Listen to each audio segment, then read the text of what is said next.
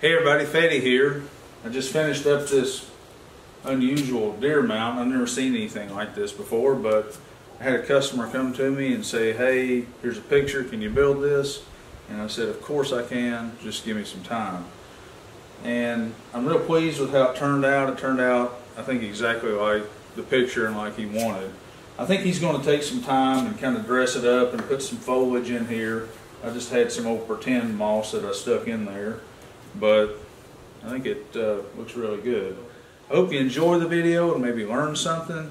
And more importantly, I hope you get some of your own ideas. As always, if you like my videos, remember, give me a thumbs up, leave me some comments, and subscribe to my channel. Thanks for watching. Check it out.